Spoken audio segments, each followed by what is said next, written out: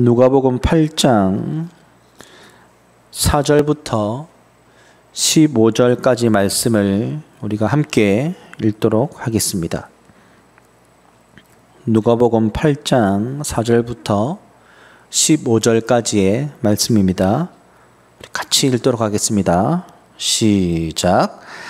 각 동네 사람들이 예수께로 나와 큰 무리를 이루니 예수께서 비유로 말씀하시되 씨를 뿌리는 자가 그 씨를 뿌리러 나가서 뿌릴새 더러는 길가에 떨어짐에 밟히며 공중의 새들이 먹어버렸고 더러는 바위 위에 떨어짐에 싹이 났다가 습기가 없으므로 말랐고 더러는 가시 떨기 속에 떨어짐에 가시가 함께 자라서 기운을 막았고 더러는 좋은 땅에 떨어짐에 나서 백배의 결실을 하였느니라 이 말씀을 하시고 외치시되 들을 귀 있는 자는 들을지어다 제자들이 이 비유의 뜻을 물으니 이르시되 하나님 나라의 비밀을 아는 것이 너희에게는 허락되었으나 다른 사람에게는 비유로 하나니 이는 그들로 보아도 보지 못하고 들어도 깨닫지 못하게 하려 함이라. 이 비유는 이러하니라. 씨는 하나님의 말씀이요. 길가에 있다는 것은 말씀을 들은 자니 이에 마귀가 가서 그들이 믿어 구원을 얻게 못하게 하려고 말씀을 그 마음에서 빼앗는 것이요. 바위 위에 있다는 것은 말씀을 들을 때에 기쁨으로 받으나 뿌리가 없어 잠깐 믿다가 시련을 당할 때에 배반하는 자요. 가시떨기에 떨어졌다는 것은 말씀을 들은 자이나 지내는 중 이생의 염려와 재물과 향락에 기운이 막혀 온전히 결실하지 못하는 자요. 좋은 땅에 있다는 것은 착하고 좋은 마음으로 말씀을 듣고 지키어 인내로 결실하는 자니라. 아멘.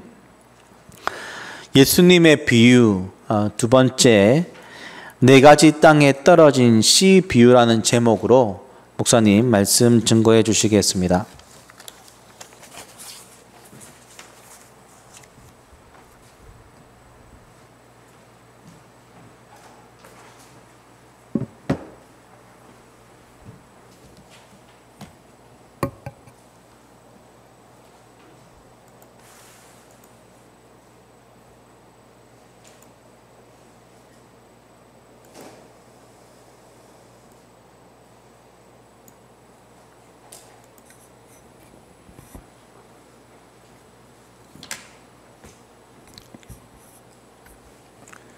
여러분 반갑습니다. 어, 지난 주간에 지난 지난 주간부터 이제 어, 주일에 함께 또 대면 예배와 또 온라인 예배가 또 함께 진행되고 있는데요. 특별히 어, 오랜만에 모여서 어, 함께 그 찬양을 할 때에 감격이 있었습니다. 그런데 그 찬양의 감격이 또 대면 예배뿐만 아니라 오늘 또 예배를 드리고 있는 각 가정에도 또 동일하게 또 임하기를 바랍니다. 제가 다시 한번 기도하고 말씀 전하겠습니다. 사랑의 주님, 감사합니다. 오늘도 주께서 우리를 부르시며 또한 주께서 어, 우리에게 말씀하여 주실 것을 기대합니다. 부르신 주님께서 말씀하실 때에 우리가 성령의 인도를 쫓아 그 말씀을 따라가게 하시고 또 이 말씀을 통하여 하나님 나라의 그 거대한 구도와 또 그 나라의 삶들을 우리가 이해할 수 있도록 오늘도 우리를 이끌어 주옵소서. 감사를 드리며 예수님 이름으로 기도합니다. 아멘. 하나님 나라의 비유 두 번째 시간이고요. 네 가지 땅에 떨어진 씨 비유입니다. 예수님의 공생의 핵심 메시지들은 다 비유로 되어 있습니다. 그리고 모든 비유 설교는 그 하나님 나라에 관한 비밀입니다. 그런데 제가 지난주에도 말씀드렸지만 비유는 설명이 없으면 숨겨진 것입니다. 이처럼 비유는 이 계시와 은닉이라는 어, 두 가지 성격이 동시에 존재하죠. 그래서 계시되어서 깨달아지는 사람들은 천국에 들어가게 되어지지만 은닉, 즉 숨겨진 사람들은 천국에 들어가지 못한다라고 제가 지난주에 말씀을 드렸습니다. 오늘 이제 우리가 본문 안으로 들어가 보면 예수님께서는 그 사람들 앞에서 멀리 씨 뿌리는 그 농부의 모습을 바라보시면서 이야기를 꺼내십니다. 씨를 뿌리는 사람이 나가서 씨를 뿌리고 있는데 씨앗을 뿌린다고 다 결실을 맺겠느냐? 어떤 것은 길가에 뿌려져서 새가 주워 먹고 어떤 것은 돌밭이나 가시밭에 떨어져 이렇게 저렇게 없어지고 마는데 옥토에 떨어진 것만은 30배, 60배, 100배로 결실하게 되었다. 이 이야기를 하십니다. 그러면서 11절에 이 비유의 설명을 시작하십니다. 그래서 11절에 보면 이 비유는 이러하니라 이렇게 시작하죠. 자, 그런데 오늘 저와 여러분이 이제 이 말씀 앞에서 우리가 주목해야 하는 것은요. 예수님께서 이 비유를 말씀하실 때에 강조점이 네 개의 밭 중에 네 개의 땅 중에 어디에 있느냐 하는 것입니다. 길가, 돌짝, 가시떨기, 옥토 넷 중에 어디에 어, 강조점이 있을까요?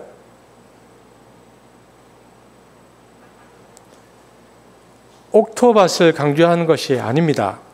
우리가 이 본문을 볼 때에 이 비유의 강조점이 옥토밭에 있는 것이 아니라는 것을 먼저 인지해야 됩니다. 강조점은 앞에 있습니다. 예수님 당시에 유대인들에게 주신 말씀이 무엇인지 이해하려면 앞에 세 밭에다가 초점을 두고 봐야 합니다. 여러분, 이 비유는 하나님 나라의 숨겨진 비밀의 비유입니다. 그렇다면 하나님 말씀이 뿌려져서 30배, 60배, 100배가 된다는 것이 과연 비밀입니까? 예수님 당시의 사람들은 하나님의 다스림이 실현되어지면 이렇게 될 것이다 라고 생각하는 그 상식, 기대, 이해, 전제가 있었는데 그것은 하나님의 전능성, 메시아의 초월성이었습니다. 그러니까 메시아가 오면 당시 유대인들은 온 세상이 천지 개벽하는 줄 알았습니다. 그래서 누가복음 8장 11절에 보면 씨는 뭐라고 되어 있습니까? 씨는 하나님의 말씀이요 이렇게 되어 있죠. 그러니까 당시 사람들은 메시아가 오면 천지를 창조하신 그 말씀이 하나님의 입술로 선포되니까 그 모든 말씀은 다 실현될 것이라고 생각하고 있었습니다.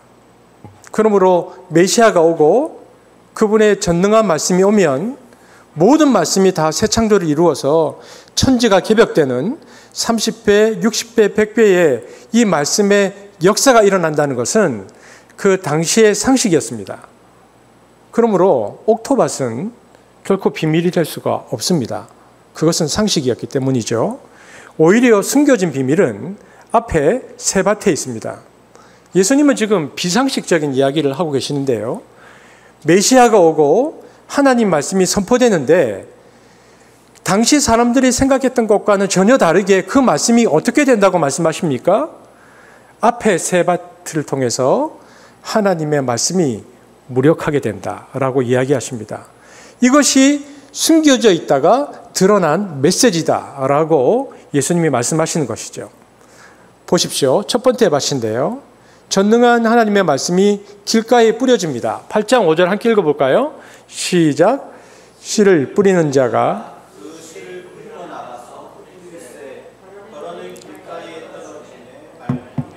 공중의 새들이 먹어 보십시오. 씨를 뿌리러 나가서 뿌릴새 더러는 길가에 떨어지며 밟힘에 공중의 새들이 먹어버렸는데 8장 12절에 그것을 설명합니다. 그것이 무엇인지 시작. 길가에 있다는 것은 말씀을 들은 자니 이에 마귀가 가서 그들이 믿어 구원을 얻지 못하게 하려고 말씀을 그 마음에서 빼앗는 것이요. 여기 보니까 길가에 뿌려진 말씀을 새가 쪼아 먹었다는 이야기가 있는데 그것이 12절에 보면 마귀라고 말하고 있습니다. 마귀가 말씀을 먹어버린 거죠.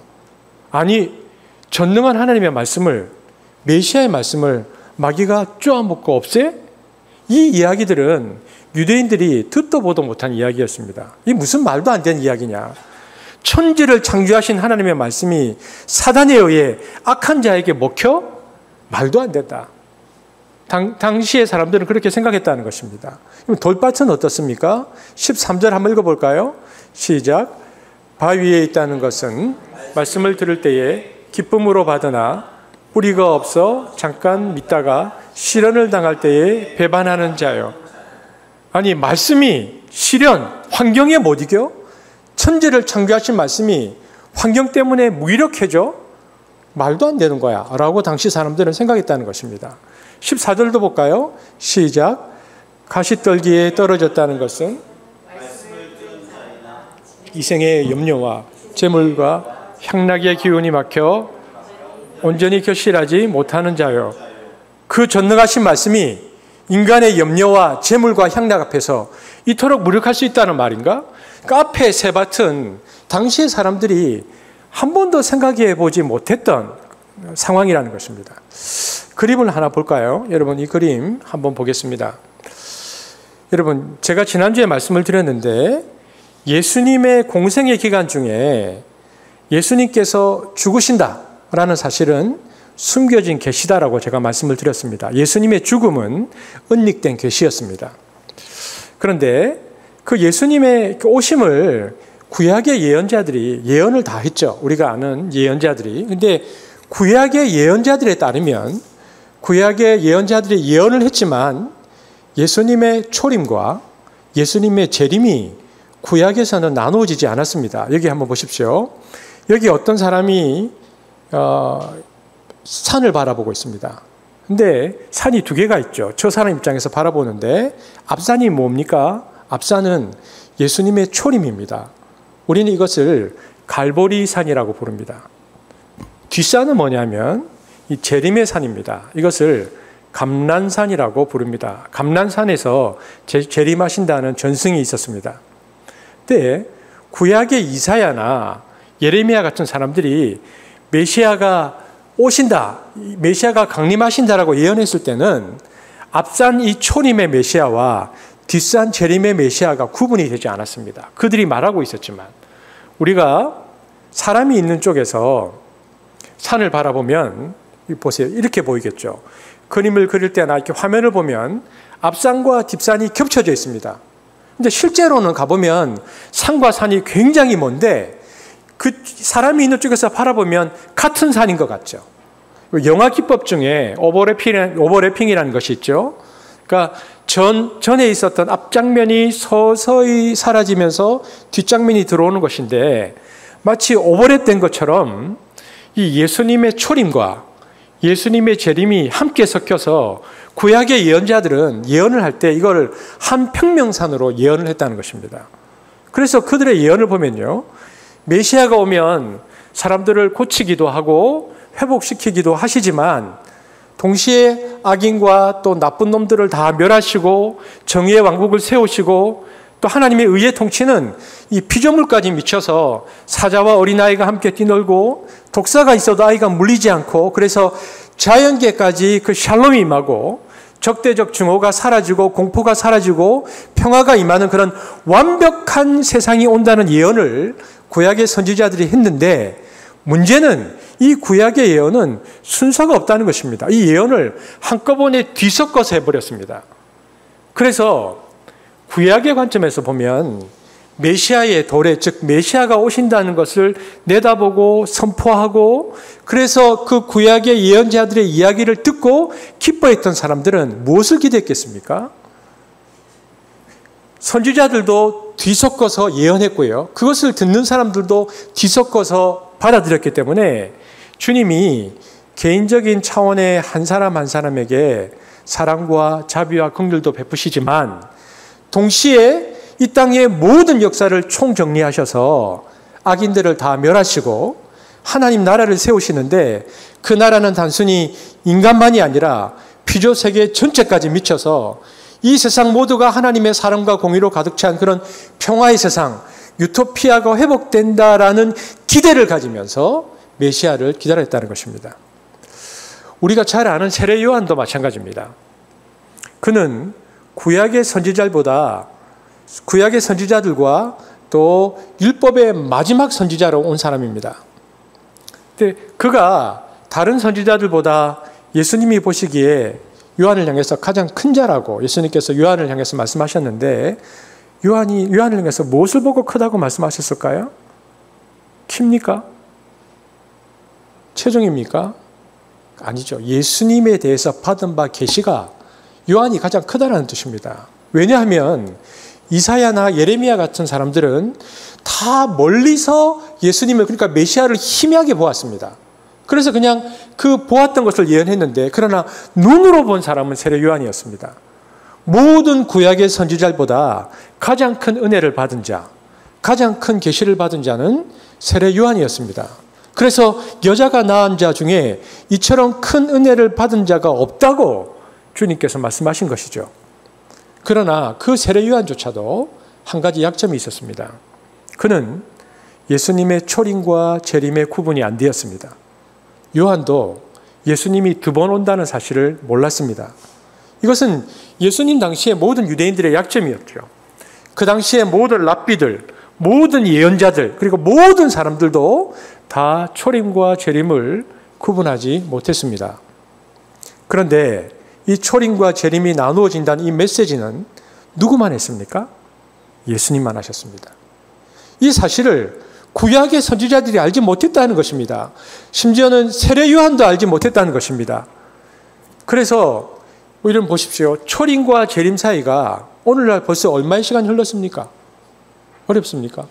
지금이 2020년이니까 2000년의 시간이 지났죠. 이렇게 멀 줄 아무도 몰랐습니다. 그러면 이사야가 예수님을 예언했죠. 메시아를 예언했는데 이사야가 예수님을 예언하고 600년 뒤에 메시아가 왔어요.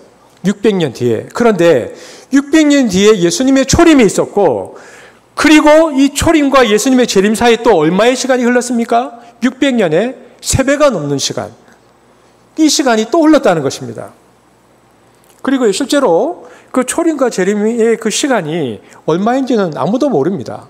이사의 눈으로 봤을 때는 다 겹쳐져 있었는데 그도 말한 것이 600년 뒤에 이루어졌고요. 또 그 뒷산은 그로부터 세배가 지난 2000년이 지나도 아직 이루어지지 않았다는 것입니다. 그 시간이 얼마인지 지금도 우리는 모릅니다. 그런데 언제 예수님이 재림한다 이렇게 말하는 사람들이 있습니다. 이 사람들은 다 거짓 선지자입니다. 왜? 예수님이 승천하시면서 사도행전에서 제자들에게 뭐라고 말씀하셨냐면 그날과 그때는 아버지 외에는 아무도 모른다라고 말씀하셨습니다. 여러분, 주님이 재림하시는 시기가 몇 년이 될 것이라는 이 시간의 측정은 오직 누구만 아십니까? 이건 예수님도 모릅니다. 부활하셔서 하나님 우편에 앉아 계시지만 그건 예수님 관할이 아닙니다. 오직 성부 하나님의 관할이죠. 성부 하나님께서 타이밍을 속으로 세고 계시다가 때가 됐다 그러면 예수님이 재림하시는 것입니다. 그렇다면 여러분 초림은 어떤 사역입니까? 초림의 사역은 사람들을 용서하고 치유하고 죄를 사하시는 사역입니다. 그러니까 하나님의 사랑과 극률의 사역. 그래서 갈보리 십자가는 하나님 사랑의 완성의 사역입니다. 그런데 재림의 사역은 어떤 사역입니까? 이것은 우주적인 대심판입니다. 모든 불이 그리고 모든 악한 자들을 다 쓸어버리고 의로 가득 찬 세상을 회복하는 공의의 사역이죠. 그러니까 사랑의 완성은 초림 때 이루어지지만 공의의 완성은 초림 때부터 시작해서 언제 이루어집니까? 공의의 완성은 재림 때 완성됩니다. 그런데 이 초림과 재림, 이 천국의 비밀은 예수님만 알고 계시기 때문에 비밀이고 다른 이들은 이것을 아무도 몰랐다는 것입니다. 그러므로 이 비밀의 핵심은 뭡니까?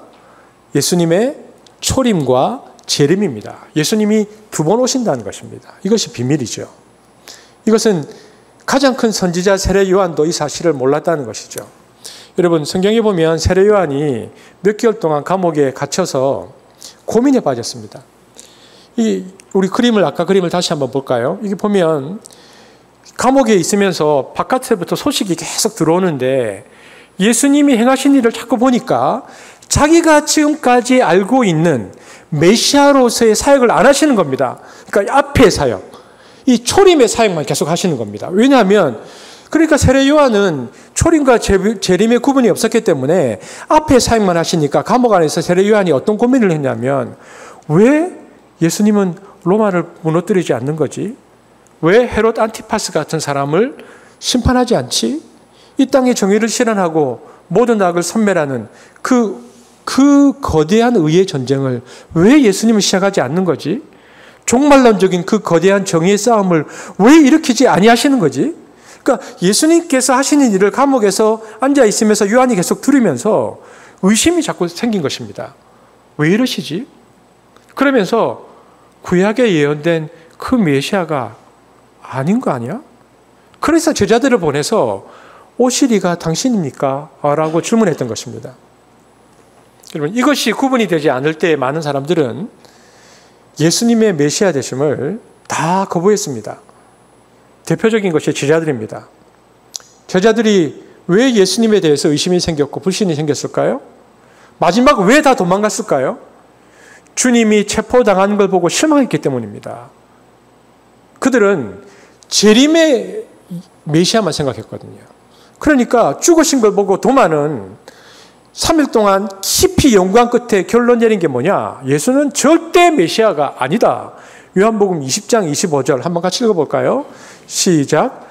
다른 제자들이 도마가 이르되 내가 그 손에 못자국을 보며 내 손가락을 그 못자국에 넣으며 내 손을 그 옆구리에 넣어보지 않고는 믿지 아니하겠노라 하니라. 와서 저렇게 무력하게 죽은 메시아 나는 그 메시아를 예수를 믿지 아니하겠노라고 결단합니다. 이게 당시 제자들의 사고방식이었죠. 제자들 뿐입니까? 그 당시 많은 유대인들이 예수님께서 예루살렘에 들어오실 때 메시아로 환영했습니다. 호산나 다윗의 이름으로 오시는 이라며 종려나무 가지를 흔들었습니다. 그런데 왜 일광하던 그들이 예수보다 바라바를 놓아달라고 마지막에 급변했을까요? 이유는 하나입니다. 그들이 기대했던 메시아는 두 번째 메시아였거든요. 로마를 무너뜨리고 이스라엘을 회복시킬 그 재림의 메시아를 기다렸는데 로마 군병들에게 밤새도록 두들겨 맞고 머리에 가시 멸관을 쓰고 붉은 옷을 입고 오린뺨을 맞고 침뱉음을 당하면서 이 비틀비틀거리는 모습을 볼 때 그들이 가지고 있던 이 메시아적 기대는 다 절망으로 바뀌면서 차라리 밀란을 일으키려고 했고 혁명 운동으로 무장 투쟁을 하려 했던 바라바가 낫겠다 생각해서 차라리 바라바를 라고 그들이 외쳤던 것입니다. 그 당시 많은 유대인들도 이처럼 예수님에 대한 메시아의 시험에 빠졌습니다. 이유는 초림과 재림이 구분되지 않았기 때문이죠. 오실 메시아가 하실 일에 대한 그래서 구분이 되지 않았습니다. 그래서 예수님이 십자가에 못 박혔을 때 그 밑을 지나가는 사람들이 머리를 흔들면서 이렇게 이야기합니다. 네가 만일 메시아라면 먼저 그 십자가에서부터 내려와 봐라. 그 말도 무슨 얘기입니까? 초림의 메시아, 십자가에서 죽는 메시아를 그들은 결코 이해할 수 없었다는 말입니다. 그들의 메시아적 관념 속에는 오직 전능한 권능으로 하나님의 능력으로 세상을 평정하는 왕인 메시아만 생각하고 있었거든요. 그렇기에 유대인들은 네가 무슨 메시아냐라고 하면서 돌아섰습니다. 제자들도 절망하고 돌아서서 다시는 믿지 않겠다고 말했던 것이죠. 세례 요한과 당대의 사람들 그리고 모든 예수의 제자들까지도 예수님이 메시아라면 마땅히 이루셔야 할 것이라는 기대가 있었는데 예수님은 지금 그 기대를 무너뜨리는 행동을 하신 것입니다. 그러니까 요한이 오실 그분이 당신입니까? 아니면 우리가 또 다른 사람을 기다려야 합니까? 라고 질문을 던질 수밖에 없었습니다. 오직 예수님만이 메시아에 대한 새로운 계시를 하나님으로부터 들은 것입니다. 그래서 그 비밀을 지금 비유로 말씀하고 계시는 것입니다. 예수님 이렇게 말씀하시는 것이죠. 너희가 기대하는 메시아가 오기는 왔는데 그 메시아가 두 번에 나누어져서 온다. 첫 번째로 왔을 때는 사랑의 메시아로 와서 모든 사람의 죄를 용서하기 위해서 대신 십자가에서 죽는 자로 온다. 그리고 감난산에서 제자들에게 나중에 인자가 다시 강림할 터인데 그때는 영광과 권세를 가지고 이 땅의 모든 악을 소멸할, 소멸할 것은 소멸할 모습으로 오신다. 이 초림과 재림이 나눠진 이 계시는 그래서 예수님 이전에는 아무도 몰랐다는 것입니다. 그 누구도 그 누구도 예수님이 두 번 온다는 사실을 몰랐기 때문에 현재 그들과 함께 계신 예수님이 초림의 예수라는 것을 몰랐고, 즉, 초림의 예수는 죽으러 오셨다는 것은 상상할 수 없었죠. 그러므로 하나님 나라의 비밀은 예수님의 초림의 비밀입니다. 그 전에 선지자들이 한 번도 하지 않았던 그 이야기를 예수님께서 이제 공생의 3년을 마치시고 난 다음부터 본격적으로 하셨습니다. 비밀의 내용은 초림과 재림이 나눠져 있다는 것. 이것을 메시아닉 시크릿 라고 신약학자들이 말합니다. 그러니까 메시아의 비밀은 예수님이 두 번 오신다는 것입니다. 근데 여러분, 근데 이 말은 유대인 입장에서는 유대인들이 기대하는 메시아의 사역이 연기된다는 뜻입니다. 그러니까 메시아가 와도 하나님 나라가 완전히 세워지지 않는 것이죠. 내가 왔고 내가 메시아로 임했는데도 너희들이 기대했던 세상을 심판하는 그 일은 연기된다라고 예수님께서 말씀하고 계시는 것입니다. 그런데 이것이 유대인들에게는 굉장히 절망적인 것입니다. 왜냐하면 오랫동안 아스루, 페르시아, 바벨론, 로마의 압제 속에서 메시아가 오기를 그토록 기다렸는데 그들은 메시아가 오시면 어떻게 될 것이라고 기대했겠습니까? 그 제국들이 무너지고 의가 실현되어지고 하나님 나라가 실현되어지고 이 땅에 유토피아가 생겨나는 것을 기대하면서 그 모진 압박 속에서도 유일한 희망으로 메시아를 기다렸습니다. 그런데 예수라는 사람이 와가지고 자기가 메시아라고 하면서 말하는 내용이 뜬금없이 너희는 그렇게 하나님의 통치를 기대했지. 아니야. 하나님 나라에는 비밀이 있어. 그것이 무엇입니까? 하나님의 통치를 이 땅에 가지고 들어오는 왕 중의 왕이신 메시아가 어떻게 되는가? 무력하게 죽어버린다는 것입니다. 사람들의 손에 살해당한다는 것입니다. 이것이 비밀이라고 말씀하시죠. 그래서 마태복음 20장 28절 한번 같이 읽어볼까요? 시작. 인자가 온 것은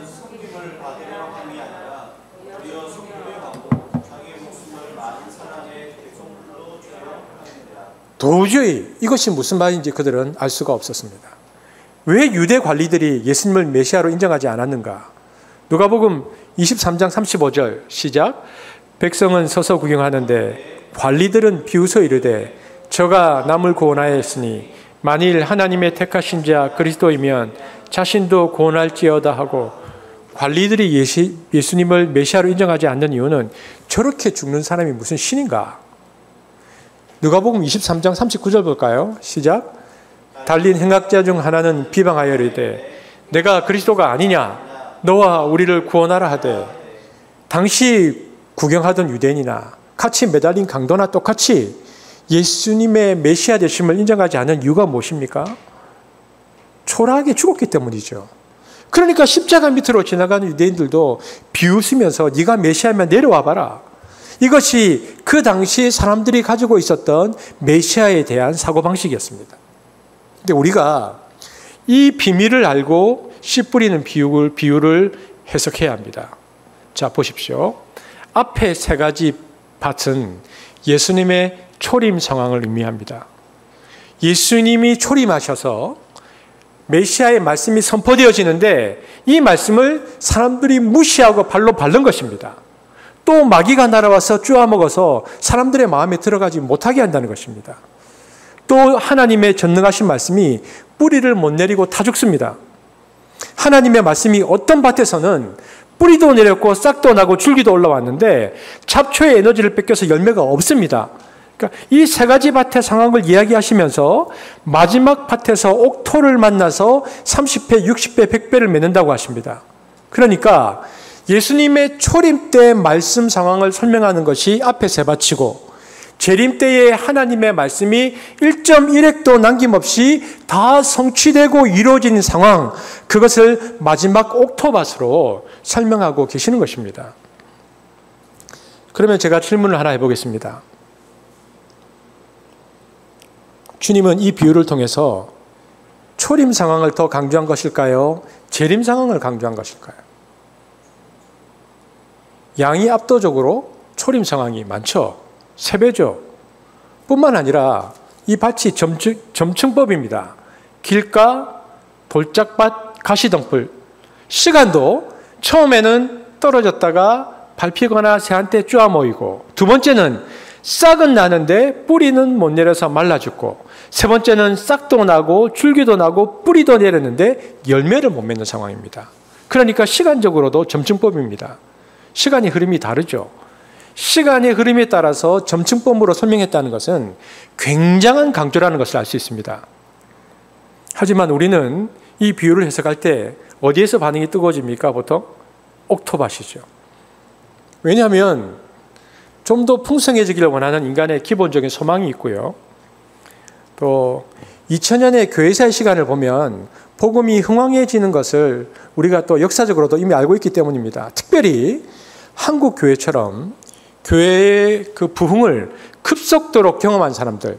여러분 70년대, 80년대 얼마나 교인들이 그 사람들이 교회로 몰려드는지 사람들은 설명을 안 해도 그냥 말씀이 뿌려지면 30배, 60배, 100배가 된다는 것을 경험해 보았기 때문에 한국의 성도들은 저 말씀이 맞아. 말씀이 옥토밭에 떨어지면 100배로 늘어나. 이렇게 생각을 하게 되었다는 것입니다. 그렇기 때문에 이 특별한 경험으로 우리는 예수님의 이 비유에서 가장 먼 그리스도인이 되었습니다. 예수님의 씨 뿌리는 비유를 가장 못 알아듣는 교회가 되었다는 것입니다. 조심해야 합니다. 그래서 이 비유를 우리는 자세히 보아야 합니다. 여러분, 우리가 앞으로 계속 예수님의 비유를 이제 예수님께서 하신 비유를 살펴볼 텐데요. 우리가 비유를 묵상하고 바라보고 해석할 때 주의하고 염두에 둬야 할 것이 있습니다. 그것은 사람들은 비유를 단지 어떤 비유를 통해서 개인주의적 의미, 더 정확하게 말하면 사적인 의미만을 부각하고 또 선량한 소시민적 사고방식을 염두에 두어서 마치 이 비유를 아동용 우화처럼 해석하기에 그냥 그 비유를 그 정도로 바라봅니다. 그러나 그렇지 않습니다. 제가 지난주에도 말씀드렸지만 모든 비유는 언제나 하나님 나라의 관점에서 해석되어져야 하고 당시 유대인들의 사고방식과 문화 그리고 이스라엘의 예언자의 관계 속에서 비유는 언제나 살펴보아야 정확하게 해석할 수 있습니다. 그러므로 우리도 예수님 당시에 유대인들에게 주신 말씀이 무엇인지를 이해하려면 앞에 세 밭에다가 초점을 두고 이 비유를 보아야 합니다. 그런데 마태복음 13장 16절 이 병행구절에 보면 예수님께서 이 비유를 말씀하시면서 이렇게 얘기하셨어요. 한번 같이 읽어볼까요? 시작.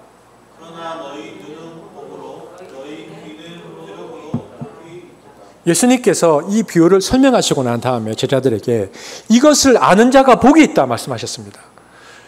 뭐를 아는 자가 복이 있다는 얘기입니까? 메시아가 왔고 그분의 말씀이 임했는데도 그 말씀이 이렇게 무력하다는 것을 아는 너희는 복이 있다는 것입니다. 왜 이게 복이 될까요?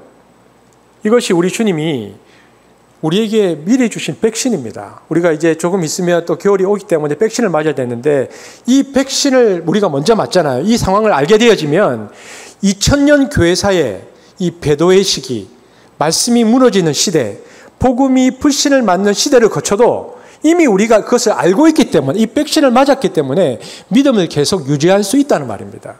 예수님이 미리 이 얘기를 해주셨기 때문에 천국의 비밀을 미리 깨닫게 하셨기 때문에 말씀이 왔어도 말씀이 무력해질 수 있다는 사실을 깨닫게 되어지면 말씀이 무력화되어지는 시대에 살면서도 시험에 들지 않고 믿음을 유지할 수 있는 것입니다.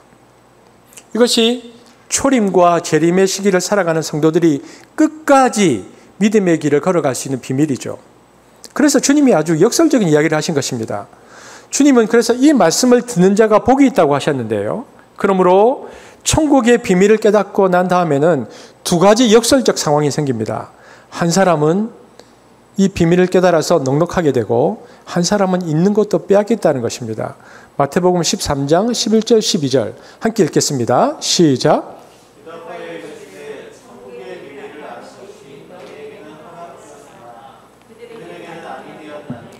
무릇 있는 자는 받아 넉넉하게 되되 없는 자는 그 있는 것도 빼앗기리라. 보십시오.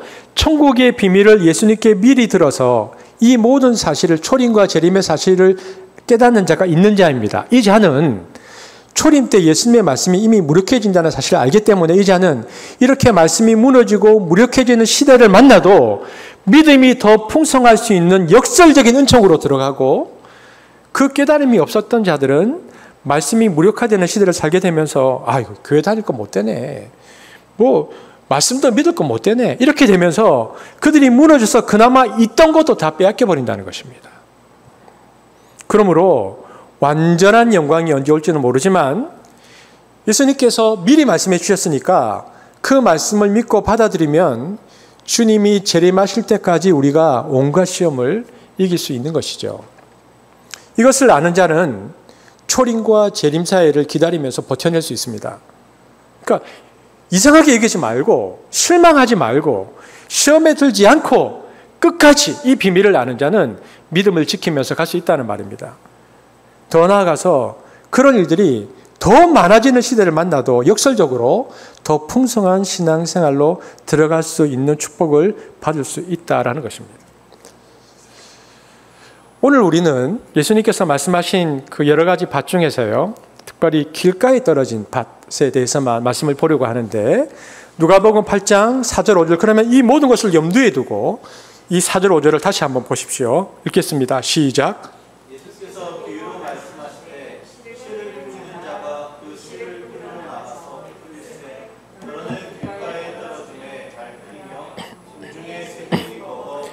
길가에 떨어진 이 씨, 하나님 말씀의 위기가 두 가지입니다. 여기 보니까 왜 뭐, 뭡니까? 여기 보니까 두 가지. 하나는 어떻게 됩니까? 밟히고 또 공중의 새들이 먹어버리는 것. 그러죠. 그런데 12절의 해석을 보면 해석은 이렇습니다. 시작.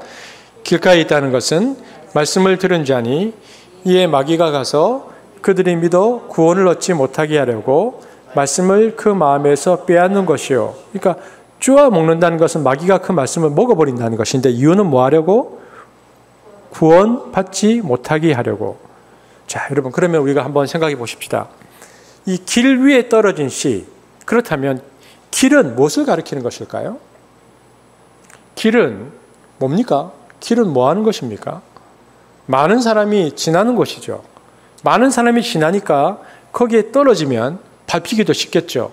그러면 많은 사람이 지나가는 길이라는 것은 무엇을 가리킬까요? 그것은 그 시대의 시대의 정신을 가리킵니다. 시대의 철학이죠.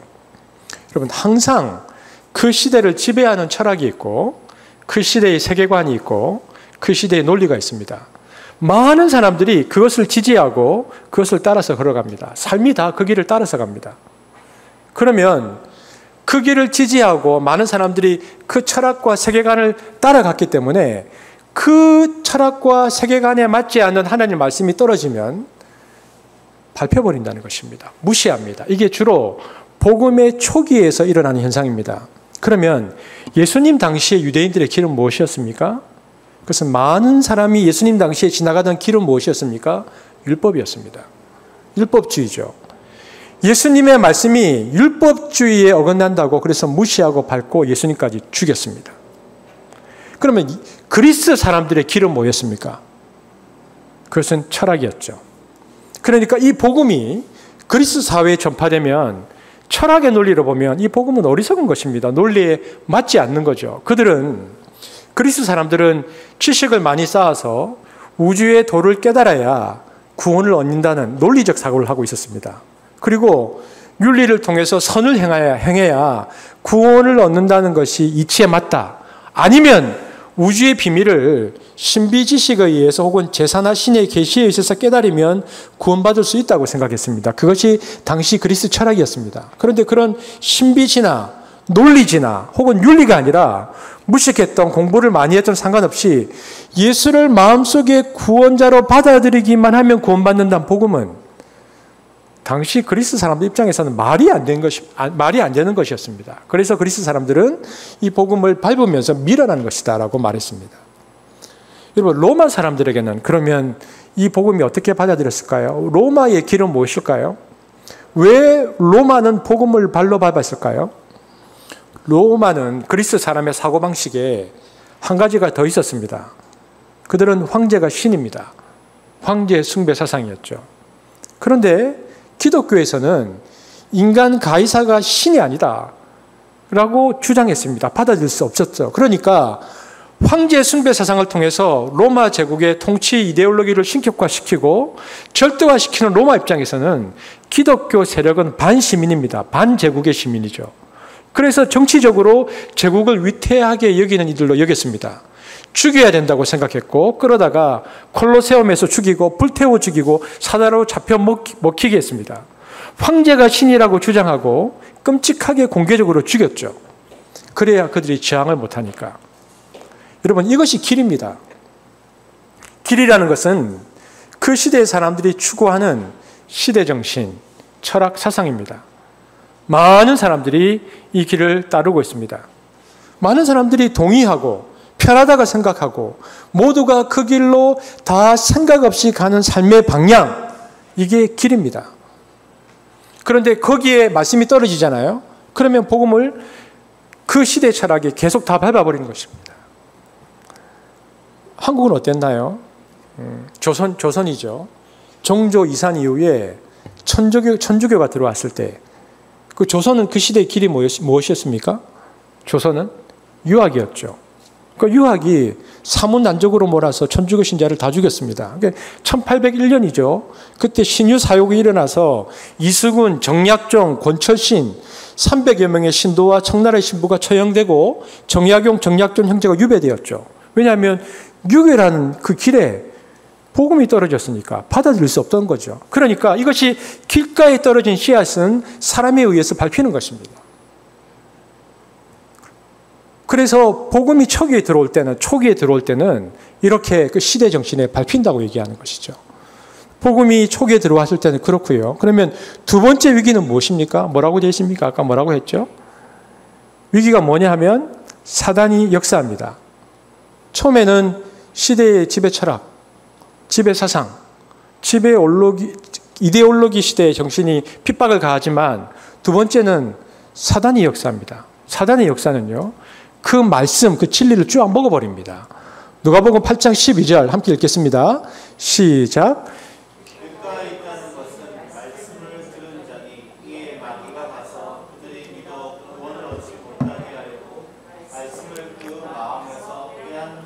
여러분 이것을 무엇이라고 말합니까?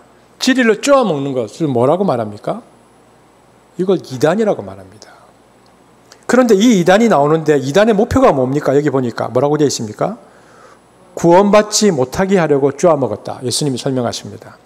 이처럼 복음이 처음 전파될 때는 그 시대 사상에 의해서 핍박을 받으면서 동시에 무슨 일이 일어나는가? 구원론 이단이 나옵니다. 이단이 구원론을 매개로 나타나죠. 어, 2000년 전에 초기 그 그리스도론 이단들 중에 예수 그리스도의 인성을 부인하는 자들이 있었습니다. 그러니까 예수 그리스도를 설명할 때 예수 그리스도는 단지 인간의 모양만을 가졌을 뿐 인간은 아니었고 순전한 신적 존재라는 입장을 가졌던 사람들이 있습니다. 이러한 이론을 뭐라고 불렀냐면 가현설이라고 불렀습니다. 이게 이제 2세기의 대표적인 이단이었던 영지주의도 가연설을 채택해서 많은 그리스도인들을 실족시켰습니다. 가연설이 왜 문제가 되냐 하면 육체로 오신 예수님, 성자의 성육신을 부인했기 때문입니다.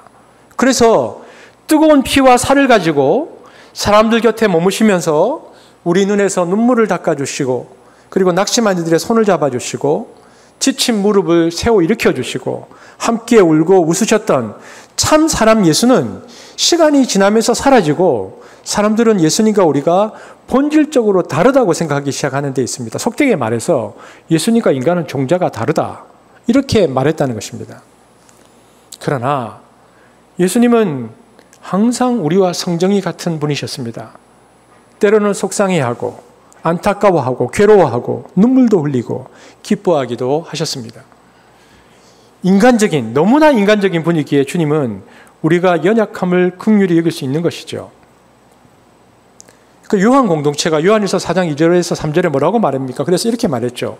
예수 그리스도께서 육신을 입고 오셨음을 시인하는 영은 다 하나님의 계시에 의한 영이지만 예수를 시인하지 않는 영은 다 하나님께서 나지 않는 영, 곧 그리스도의 적대자의 영이라고 가르쳤던 까닭이 바로 거기에 있습니다. 그들이 나타나서 이 복음의 말씀을 쪼아 먹어버린 것입니다. 그리고요, 헬라 철학을 연구한 초대교회 신학자들 중에는 이렇게 말하는 사람도 있었습니다. 예수님이 인간보다는 훨씬 위대한 존재이지만 성부 하나님보다는 열등한 존재다. 이렇게 주장하는 사람들이 있었습니다. 아리우스죠. 우리가 잘 아는. 아리우스는 예수님도 사람이나 천사들처럼 하나의 피조물에 불과하다라고 주장했습니다. 이것이 훗날 또 하나의 무서운 무서운 이단 여호와 증인의 핵심 교리가 됩니다. 그러니까 그들의 주장은 성자 하나님이 성부 하나님보다 열등한 위치에 있고 성부 하나님에 의해서 창조된 존재이자 성부 하나님께 전적으로 의존해야만 하는 존재다. 그래서 성자 종속설이라는 말을 그들이 만들어냈습니다. 근데 여기에 근거해서 19세기 독일에서는 인간 예수를 극대화시키는 자유주의 신학이 나왔습니다. 이들에 의하면 예수님이 성육신한 게 아니고 예수님은 그저 한 위대한 스승이요 성부 하나님께 순종한 위대한 모범에 불과하다. 그렇게 주장하기 시작했습니다. 구원은 다만 우리가 그리스도의 이 모범을 따라 선한 일을 행함으로써 얻어내는 것이고 그리스도는 우리에게 도전을 주고 모범을 보여주시는 인물일 뿐이다. 그러니까 아리우스를 승계한 자유주의 신학자들이 강조하는 것은 그래서 도덕이고 윤리입니다. 여러분 한국에서는 초대교회 당시부터 구원론 이단이 많이 있었는데 한국에 들어와 있는 구원론 이단은 뭐뭐가 있습니까? 박태선, 전도관, 또 문선명, 통일교, 구원파, 유병원, 신천지, 이만희, 하나님의 어머니, 안상홍, 다 구원파 이단입니다. 그러니까 복음이 들어오면 언제나 이 구원을 가지고 복음의 말씀을 무력화시키고 쪼아먹는다는 것입니다. 복음이 전파될 때는 꼭 두 가지 위기가 온다는 것을 주님이 말씀하시는 것인데요. 첫 번째는 그 시대의 사상, 그 길을 걷는 사람들이 짓밟고 두 번째는 마귀가 구원론 이단을 일으켜서 구원받지 못하게 한다는 것입니다. 즉, 예수님께서 지금 비유를 통해서 메시아가 와서 하나님의 말씀을 전하는데 그 시대의 철학과 그 시대의 사상에 의해서 무시당하고 그리고 이단이 나타나서 이단에 의해서 맥을 못 추고 이단이 흥행한다. 그래서 올바른 복음보다는 이단이 더 힘이 세워지고 더 강하게 일어난다. 이것이 도무지 이해가 안 되는 일이고 실족할 만한 현상들인데 그러나 초기에 복음이 심겨질 때는 이러한 일들이 일어난다라고 말씀하시는 것입니다. 그래서 예수님은 이 비유를 통해서 이 말씀을 이해하고 있어야 실족하지 않을 수 있다라고 백신을 주시는 것이죠.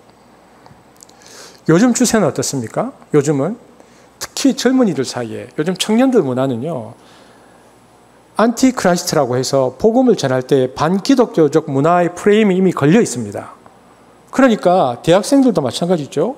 대학생들이 캠퍼스에서 내가 예수님을 믿는다 이렇게 말하면 이미 반기독교적 문화의 패러다임에 이 프레임이 걸려 있으면 내가 예수를 믿는다고 말하면 뭔가 열등한 혹은 이상한 사람으로 비춰지도록 프레임이 이미 형성되어 있어요. 아니 아직도 예수를 믿어? 네가 대학생인데 시성인인데 제정신이 아니네. 그래서 반기독교적 문화의 프레임이 걸려 있기 때문에 그것을 넘어서 내가 그럼에도 불구하고 예수를 믿는다고 공개적으로 드러내고 떳떳하게 신앙생활을 한다는 것이 그들의 표현으로는 보통 보통 예수 환자가 되지 않으면 힘들다는 것입니다. 그리고 요즘도 마찬가지죠.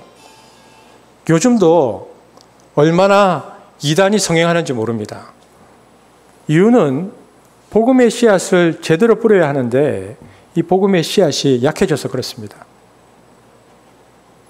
복음이 복음대로 전파되지 않기 때문에 그러하죠. 오늘 본문에 주님께서 뭐라고 말씀하십니까? 오늘 주님께서는 하나님 나라의 비밀은 주님 재림하실 때에 30배, 60배, 100배가 되는 것은 그때 가서 애쓰지 않아도 그때 가면 저절로 다 되는 것이라고 하시면서 문제는 지금 초림 때다. 초림과 재림 사이가 문제라고 말씀하시는 것입니다. 그러므로 오늘날 우리가 구해야 하는 것은 이 시대 사상, 이 시대가 말하는 시대의 철학, 시대의 가치, 시대의 이데올로기를 가지 않겠다고 결단하고 무엇보다도 내가 말씀으로 이 시대를 오히려 분별하고 또 마귀, 이단 사상이 들어오지 않도록 내가 기도하고 깨어 있어야 하겠다. 이 말씀을 통해서 우리가 그렇게 우리 스스로를 잡아매야 하는 것입니다. 그리고 초림과 재림 사이를 살아가는 그리스도인으로서 완전한 영광이 언제 올지는 모르지만 그러나 이 비유를 통해서 미리 말씀해 주셨으니까 그 말씀을 믿고 받아들이면 주님이 재림하실 때까지 우리가 온갖 시험을 이길 수 있다. 우리는 이겨낼 수 있다라는 힘을 얻는 것이죠.